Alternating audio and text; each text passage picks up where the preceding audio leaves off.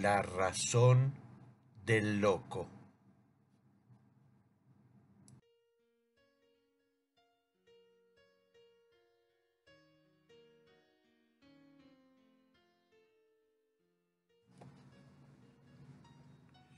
Los trabajos del autor relacionados con los temas de meditación, autoayuda, psicología y filosofía contienen exclusivamente material informativo no debiendo ser interpretados como reemplazantes de asesoramiento profesional alguno. Su contenido no presupone recomendación de tratamiento médico o alternativo de ninguna especie y su utilización es responsabilidad exclusiva del video, espectador y escucha. Yo me suelo definir como, como un loco. Esto lo digo en, en comparación con lo que es la mentalidad en general de gente que se considera normal. Bueno, en esta oportunidad voy a exponer una idea mezclada con sensaciones, sensaciones muy fuertes, importantes en mí, como un testimonio así público para que vos te puedas dar cuenta también lo loco que estoy. Aunque sé que el día 7 de mayo del año 1950 fui parido por mi madre, que por ello que figura como mi fecha de nacimiento, hace ya muchos años, demasiados, que vivo con la constante sensación de haber estado siempre, desde todos los tiempos.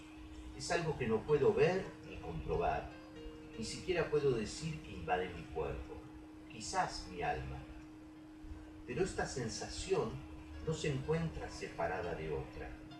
Yo diría que son lo mismo, conforman un todo.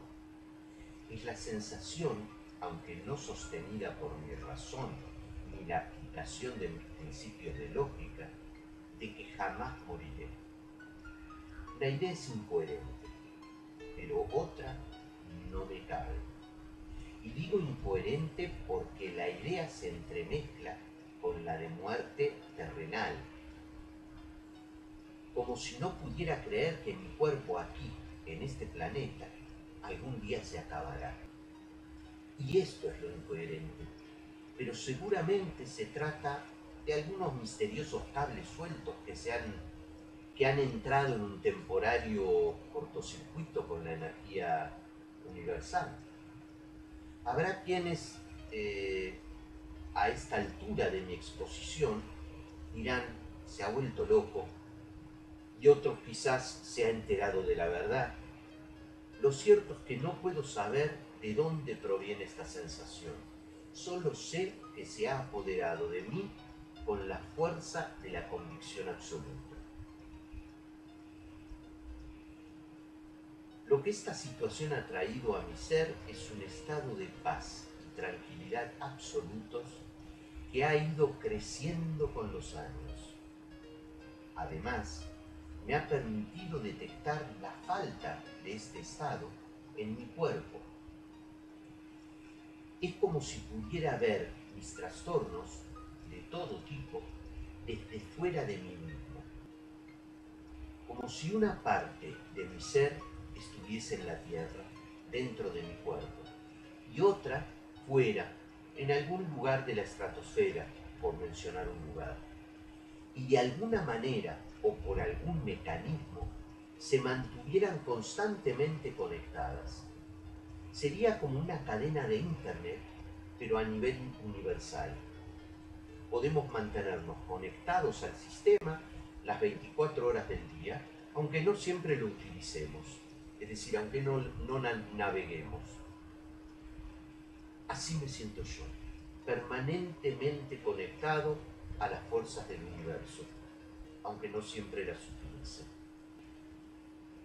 impregnado de toda esta situación que ya no sé ni cómo llamar, imagino que caigo desde el espacio, poniendo mis pies descalzos y con mi cuerpo desnudo sobre la tierra de nuestro planeta.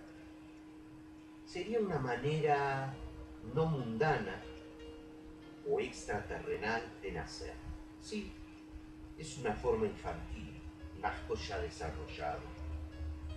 Pero es así como se presentan las imágenes en la sucesión de mis pensamientos.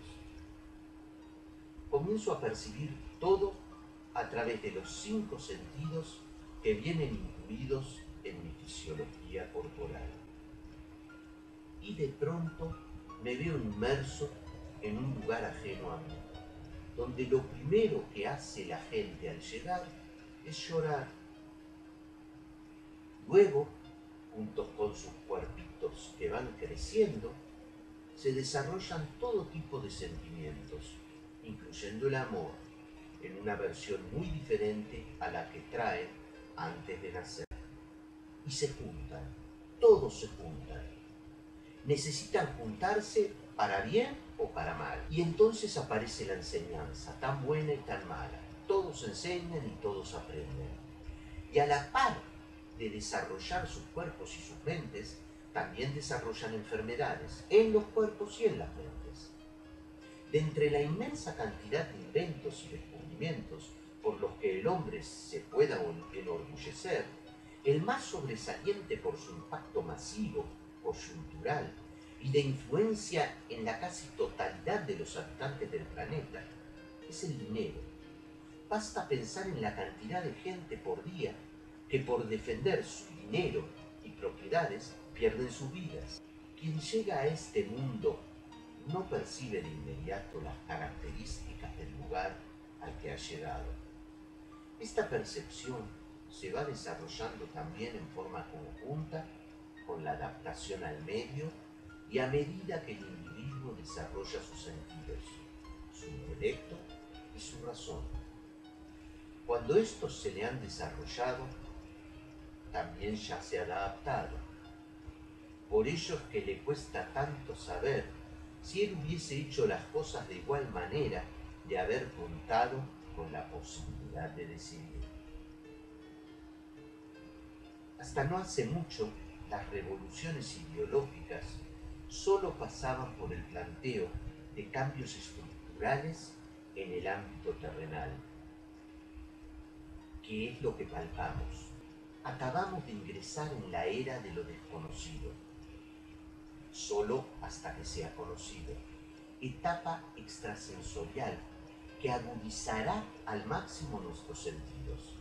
Permitirá la utilización de todo el potencial de nuestra mente y una vez flotemos en la eternidad del universo, sin la necesidad de sentir nada a favor en contra de nada ni de nadie, sabremos que hemos debido pasar miles de años de nuestra historia sumergidos en un ensoñamiento con características de pesadilla y que finalmente hemos despertado.